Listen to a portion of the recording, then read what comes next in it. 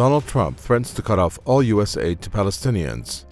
The U.S. president said in a pair of tweets that his country pays the Palestinians hundreds of millions of dollars a year and gets no appreciation or respect.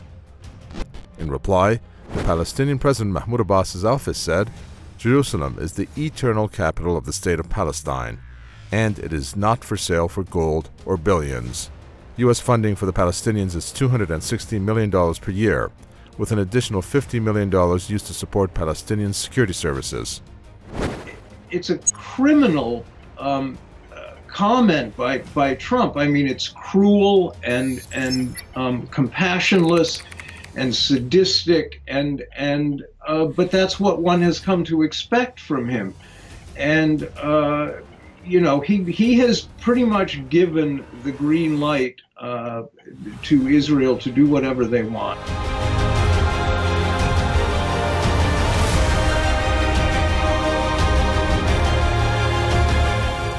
Since the UN vote condemning Trump's decision over Jerusalem al-Quds, U.S. officials have been considering various options for retaliating against the Palestinians. The options include cutting off some or all aid to the Palestinian Authority or to the UN agency that provides services to the Palestinians in places like Gaza, Jordan, and Lebanon. Trump's tweets are an admission that his recent decision has disrupted his administration's plans to resume the peace process between Israelis and Palestinians. I would say that Palestinian rights are not for sale, and we will not succumb to blackmail. There are imperatives and requirements for peace, and unilaterally, President Trump has destroyed them. He has even sabotaged our efforts at achieving a just peace and getting freedom and dignity for the Palestinian people.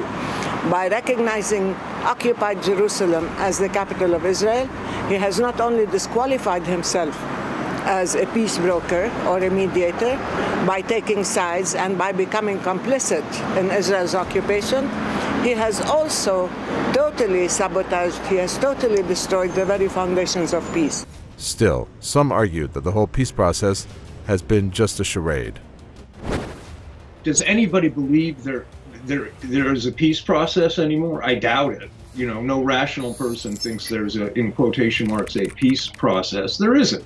Israel um, is carrying out an incremental genocide, essentially, and they plan to take all the land they want and expand as far as they feel they can, and that's what they're going to do. And um, you know, you see the treatment. I mean, you see the the sadism of, of the IDF. They arrested a 14-year-old boy the other day, and I think it was Erdogan in Turkey even said this is a Israel's a, a criminal state, a terrorist state.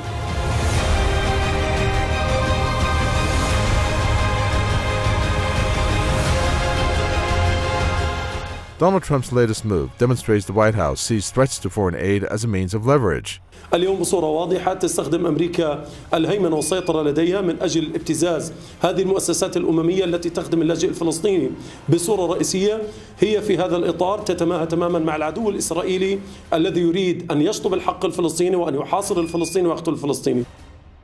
In fact, the US president is treating the Middle East peace process like a Manhattan property deal that he can bully to the table.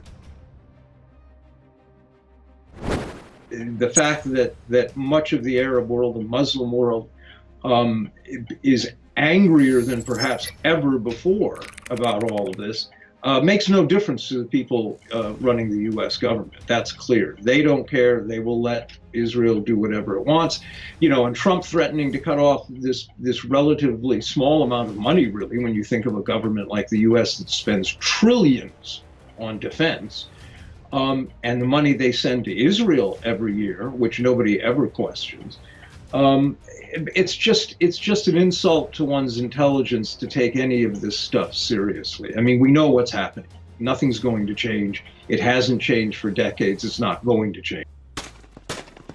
In a few weeks, Trump has pushed the Palestinian leadership into a position where it appears that they have almost nothing left to lose. In this case, Trump's ultimate deal will in fact be the ultimate destruction of the peace process and all that it entails.